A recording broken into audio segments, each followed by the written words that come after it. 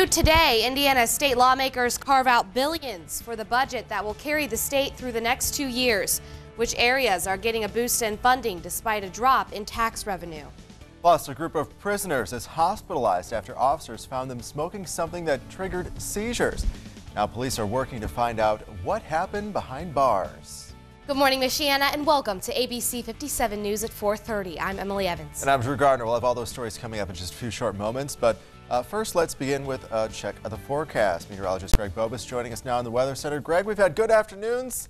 Mornings, though, still cold. Yeah, morning's still cold, and that's going to be the case for this morning, tomorrow morning, and then that's it. We're talking about temperatures that get better for the weekend for the mornings and much better next week for the mornings. But as far as this morning goes, bus stop forecast, cold and breezy now. The wind picking back up a little bit for today. Wind gusts up near 20 miles per hour this afternoon. 37 degrees at the bus stop, a little bit cloudier than the past few days. We had a few showers that passed through overnight, nothing major, very hit and miss, but you can see the activity moving away from the area now.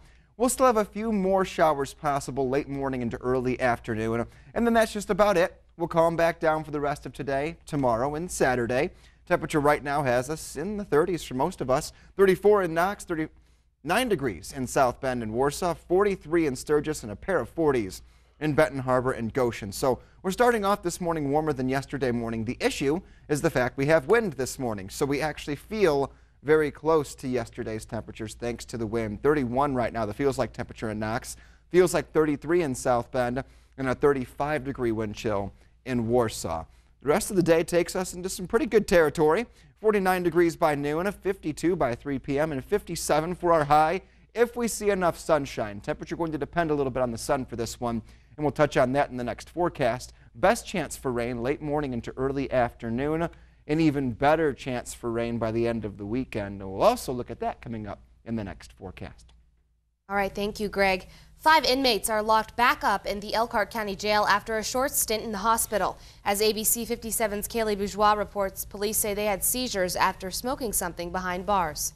It all started around 1 p.m. Wednesday when officers were alerted of inmates having seizures. So obviously that alarmed our officers, so we responded immediately to that. Five inmates total. They were all smoking a substance.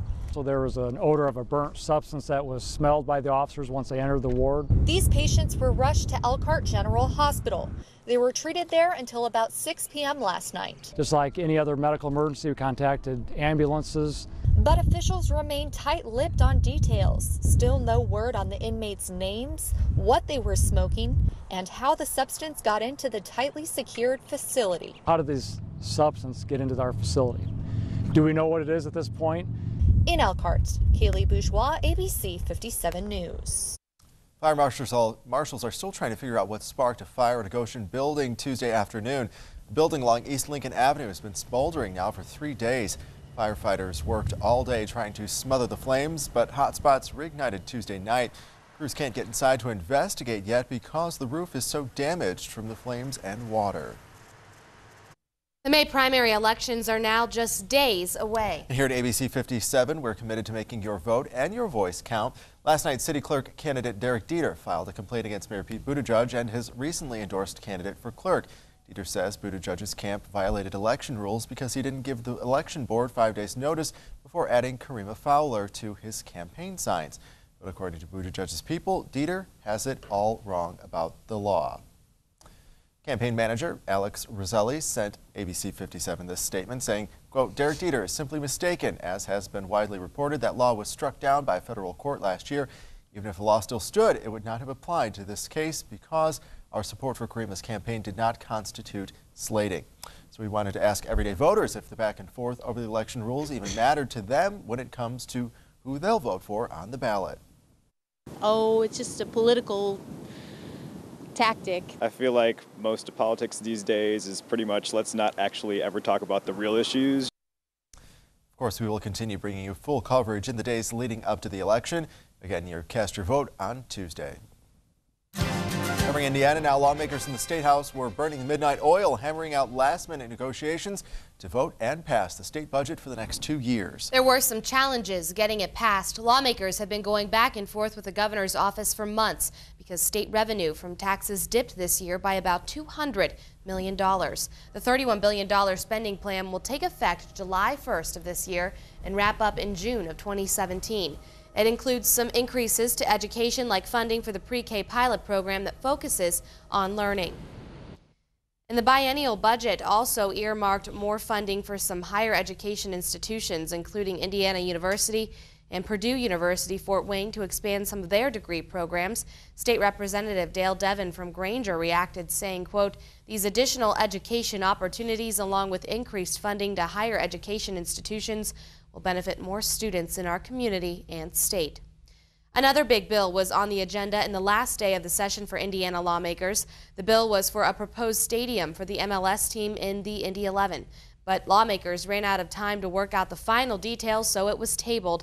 The first bill asked for $80 million paid for with admission taxes to build the new stadium downtown. But the most recently passed version of the bill allotted only $20 million to improve the current stadium where the teams are already playing.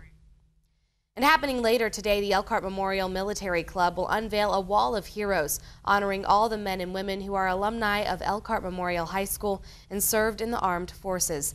The wall will display more than 350 names of local students who later on went to serve in the military. Some of them paid the ultimate sacrifice, and their bravery will be remembered in a special section naming each local soldier, sailor, or Marine who was killed in combat. Time now, 436. Could a post you make on social media get you in trouble with the law? Well, a Georgia judge says yes. What woman's one woman said in a Facebook rant that got her locked up. And a pilot radios in that a drone becomes dangerous, nearly clipping the jet on its descent. Temperatures finally going to start warming up after today. This is the last really cool one we have in the forecast. Good things ahead taking us into the weekend, but you may need your umbrella today. We'll take a look at the best timing for that coming up next.